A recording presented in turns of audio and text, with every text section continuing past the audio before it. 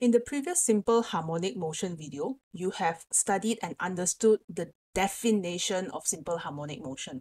So basically currently right now we have a system that moves this way. You can see the pendulum is swinging left and right and it has a particular relationship and if you remember that relationship, that is where we're going to start our discussion for this video today where we will look at the relationship between simple harmonic motion and position of the object.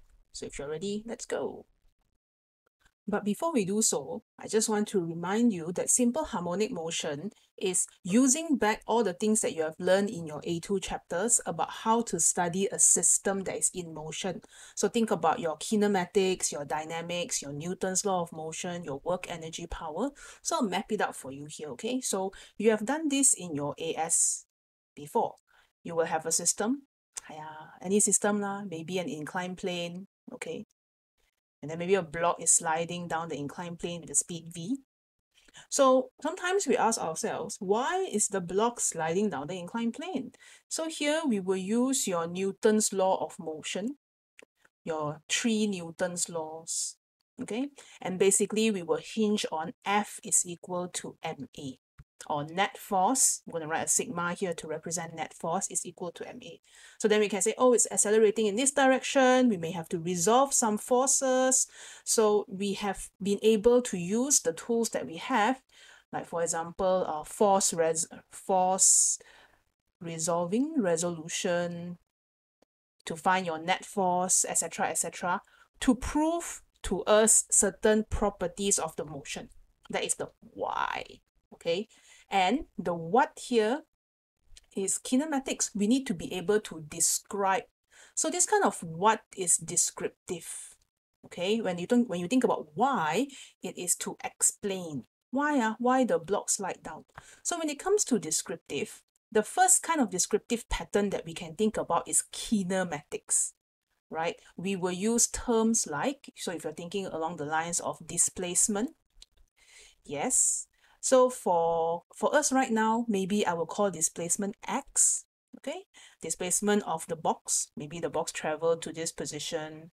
So you say, oh, here to here is X. Sure. Of course, the second one will be velocity. And the third one will be acceleration. So all this, you're already familiar and you know the relationship, right? Okay, then the second one that we're going to look at when it comes to descriptive is in terms of conservation of energy or basically what are the energy changes? Because whenever you want to describe something the motion of an object you can go down the kinematics route where you say oh it has traveled this far and it has gained that much velocity or lost that much velocity. That's possible okay? But we could also talk about energy. We could say that there is a gain in kinetic energy or there is a gain in potential energy. Of course, this potential can be a few types, like in the inclined plane, it's gravitational potential. And these both are what we call mechanical energy. Okay, so if you are familiar with this uh, in maths, you will notice that normally when you are given a system, okay, these are the skills that you should have. You should be able to explain why or use resultant force to explain why this thing is happening and what on earth is happening. So since you already know all this, oh, here's what we're doing. I'm going to replace this system or you have this system of inclined plane that you are kind of hopefully familiar with because you are you have studied your AS. I'm going to replace the system with any system that is in simple harmonic motion. So a system in simple harmonic motion that we have covered so far are including our pendulum. So if I showed you just now in the slide introduction, you have a pendulum swinging left and right. Okay, you may have a spring, oscillating up and down, and you may have other other examples. But how do we know something is in simple harmonic motion? SHM. So we are going to focus on SHM system because we have done the force resolution and if it's simple harmonic motion, we know that the acceleration of the particle is proportional to negative x. So once you can cash in or once you know this about your motion, don't care lah whether it's a uh, pendulum or whether it's a block as long as it's proportional to negative x, this thing is in simple harmonic motion. And it's a bit like a pass or an unlock. Anything that is in simple harmonic motion will have the same descriptive properties when it comes to kinematics and energy. Okay, you know why? Because you see on one side you have the acceleration. So if the acceleration has the same behavior with respect to displacement, so this one will be the same. So any kind of uh, motion that obeys simple harmonic motion will you can use the same equations or the same relationship. And you may be asking me, what are the relationships and what are the equations? Well, this is what the video is about.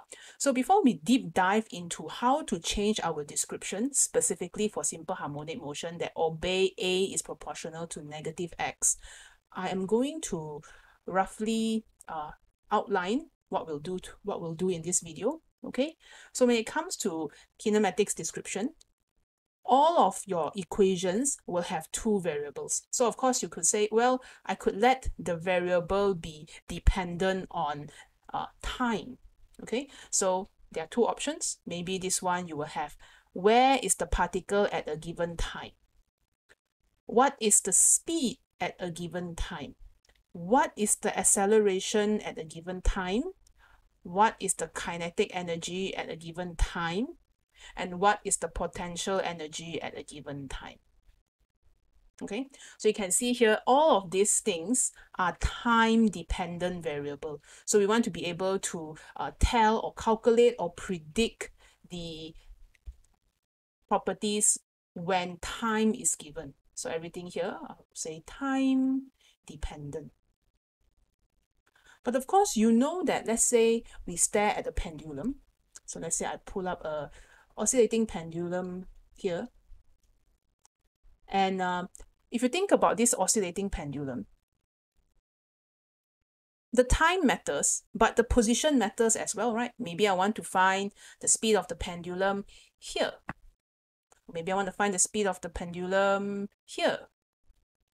So another possible variable, instead of time, is to think about position dependent.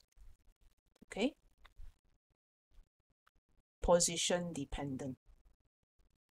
So this position dependent, of course, you can't find x in terms of x. So here you will have v in terms of displacement, a in terms of displacement. So basically, what is the speed two centimeters away from the equilibrium point? So let's say the center point here is equilibrium. What is the speed? 2 cm away from the equilibrium point. What is the acceleration? 2 cm away from the equilibrium point, etc., etc. So you will have kinetic energy as a function of x, or basically in terms of x, and potential energy in terms of x. So this is in terms of.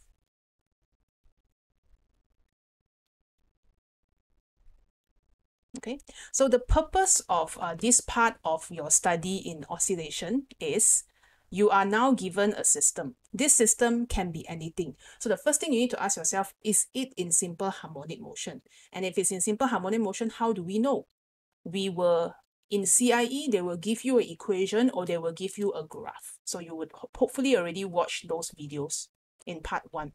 So it's either given by equation or a A against X graph.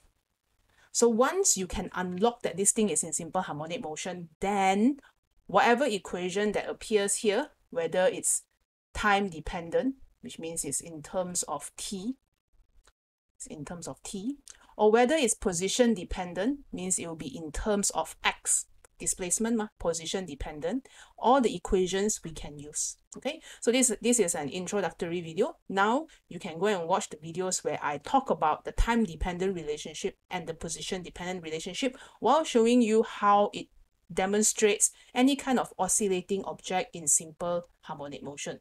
I'll see you in those videos. Bye-bye.